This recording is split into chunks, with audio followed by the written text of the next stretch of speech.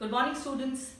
This is Madhumita ma'am from Bhavan's BP Vidya Mandir Ashti and I'm going to take up the dance lessons for your art education subjects for standard 6th. So the first session what I decided is to take a theory class instead of a practical. Of course, we'll take a practical class for the next few periods. But for the theory class, you need to prepare a 200 page register and uh, I'll be giving you some notes and you have to take up the notes and copy it down and then I'll check it when we meet soon. I hope to meet you soon. So the first topic I'm going to take for this session is history of Kathak dance.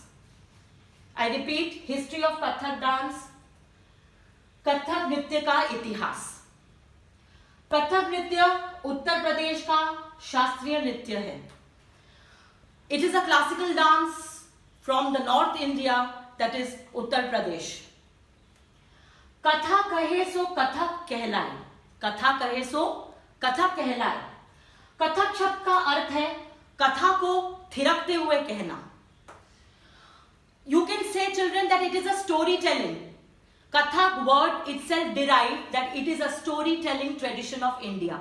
Kathak means katha ko thirakte hue kehna. So that is the reason Kathak is nothing but storytelling tradition of India with your movements, with your expressions, with your uh, gestures, you can say. So so, प्राचीन काल में कथक नृत्य को कुशीलव के नाम से जाना जाता है Now you might be thinking children what is Kushilav is. Now Kushilav means the meaning of this word is ancient. It has come from ancient words. Kushilav का अर्थ होता है कि पौराणिक कोई कथा। तो पौराणिक कथा मतलब पुराने जमाने में कथक डांस ना मंदिरों में किया जाता था। तो मंदिरों में but obviously we can do jazz we can do salsa you know in during olden times so मंदिरों में पौराणिक कथा मतलब रामायण और महाभारत। तो कथक की प्रथा पहले शुरू हुई रामायण से। जब वेद वाल्मीकि ने लव कुश को रामायण का सार सुनाया था पहली बार। राम और सीता का जो वर्णन है, वो किया था लव कुश को सिखाते हुए। So that was the first preaching and from there Kathak was derived children so that is the reason प्राचीन काल में कथक नृत्य को कुशीलव के नाम से जाना जाता है। तो कुशीलव इज़ दैट कुशीलव इज़ नथिंग बट पौराणिक कथा। पौराणिक कथा मतलब Kathak started from Ramayan and Mahabharat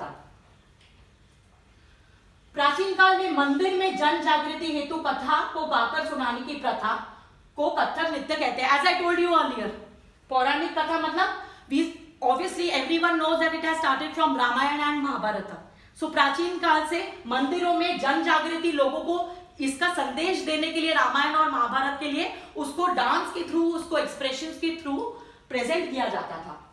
now the change तेरहवीं शताब्दी में इस्लामी सत्ता के आने से भारतीय संस्कृति, सभ्यता और जिसका सबसे ज़्यादा प्रभाव कथक डांस पर पड़ा। Now you all know children you might have learn history so तेरहवीं शताब्दी में इस्लामी सत्ता that is the Mughal era Mughal era तो मुगल ईरा के आने से thirteen century which was the Mughal era the ancient era of Kathak completely change and how it change it got divided into two. When the Muslim era came to, they were not ready to accept the Hindu. The Hindu was not ready to change their jhana. So it was divided into two halves then automatically. So the first half uh, stayed to the temple where it started, where it originated. And the second half it went to the Muslim. So now some people chose to say, stay on to the temples and uh, wanting to continue with the old process. Now when the, the second half people, they automatically went to the Muslim era and wanting to serve the Muslim Rajas, the Muslim Nawabs, for name and for fame, you can say. So that is how the history of Kathak divided into two parts. Mandir it was done in Mandir and it was done in, uh, uh, in the courts of the Mughal uh, Rajas and the emperors and the uh, Nawabs. And from this time the presentation of Kathak changed and uh, the division, the presentation, the uh, styles changed automatically. Mughal काल में कथक नृत्य मंदिर से निकलकर राज दरबार में आ गया और अपने शासक की इच्छा अनुसार उसका प्रस्तुति होने लगी। कथक नृत्य अपने प्रस्तुतिकरण में जितना स्वतंत्र है उतना अन्य कोई भी नृत्य शैली नहीं है। कथक नृत्य has become independent automatically now it had so many styles. It had not only ramayana mahabharat to show but it had so many styles to show. Then new new things developed. Mandir people they wanted to do bhajan. They wanted to to learn bhajan. And they started doing bhajan krishna bhajan say ram bhajan. And mughal uh, era, whatever the Nawabs and the Mughal emperors they demanded, the presentation was accordingly. You can say the presentation was a little shringarik.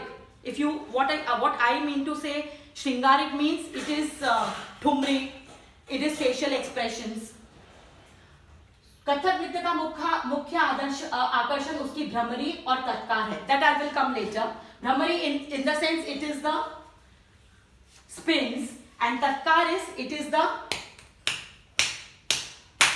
footwork. अभिनय पक्ष में गर्भाव अपनी अलग विशेषता रखता है। उसमें अकेला नृत्यकार ही अनेक पात्रों का अभिनय करता है। किसी एक कथा को साकार करते हुए।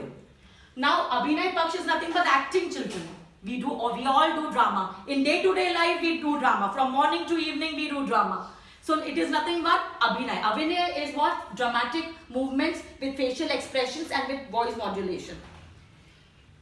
Kathak नृत्य का प्रदर्शन दो भागों में विभाजित है नृत्य पक्ष और नृत्य पक्ष so as I told you earlier नृत्य पक्ष इज़ नथिंग बट द अभिनय पक्ष नृत्य पक्ष is the face movement, the body language, the voice modulation, it is more of dramatic. And Nritya Paksh dance. It has it, it comes from the hand movements, the mudras, the gesture, the upper body movements, the feet, everything. Kathak नृत्य की वेशभूषा पर दरबारी प्रभाव है yes Kathak नृत्य की वेशभूषा पर दरबारी प्रभाव इसलिए आया एज यू नो कि तेरहवीं शताब्दी में जब मुगल काल मुगल एम्परर्स इंडिया में आए.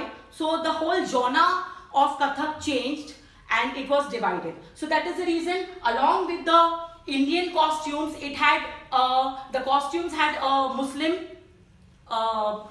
you know Muslim प्रभाव भी उसमें रहा है कॉस्ट्यूम्स में so now as I hope you understood the minimize. I hope you understood yes the Kathak history of Kathak so this I'm going to give it to you in PDF form which you are supposed to write it in your 200 page register. This is the first topic for standard 6 children. So I want you to write it and when we meet then I'll check. So by the, I hope you understood the topic Kathak Nritya Ka Itihas. I hope it was clear. And if you have any queries, you can of course message me in your class groups. And I see you next class with some other topic, with maybe a practical session. So thank you so much. Stay home, stay safe.